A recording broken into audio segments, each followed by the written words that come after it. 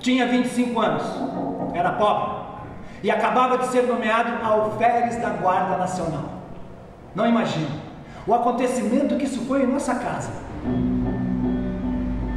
Eu sou o Ney Piacentini, eu estou aqui no Rio, no Teatro Poeirinha com Espelhos. São dois contos homônimos, o Espelho do Machado de Assis e o de mesmo nome do Guimarães Rosa. A especulação que existe é que o Guimarães escreveu em contraponto ao do Machado.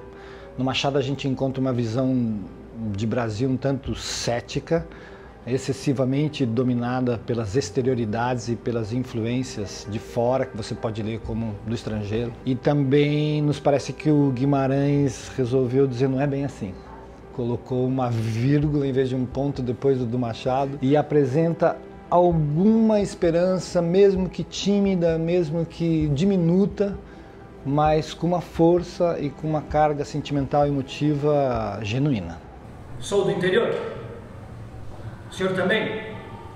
Na nossa terra diz que nunca se deve olhar em espelho às horas mortas da noite estando-se sozinho, porque neles, às vezes, assombra-nos alguma outra e medonha visão. O conto do Machado é a história de um rapaz que é nomeado alferes da Guarda Nacional durante o Segundo Império.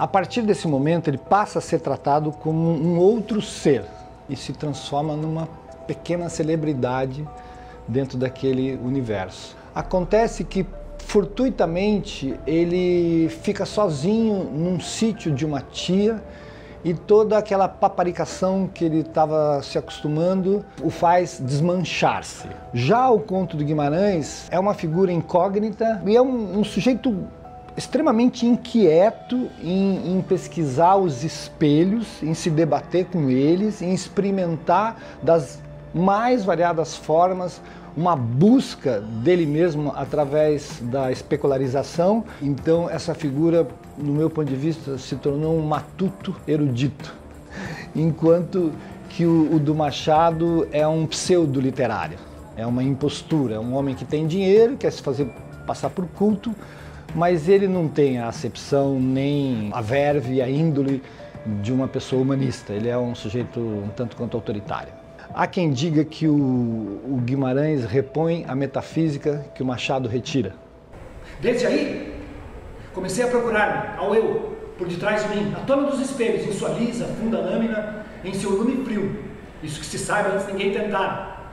Quem se olha no espelho faz partindo de preconceito afetivo, de um mais ou menos falaz pressuposto. Ninguém se acha, na verdade, feio quando muito em certos momentos desgostamos-nos por provisoriamente discrepantes de um ideal estético já aceito. Sou claro?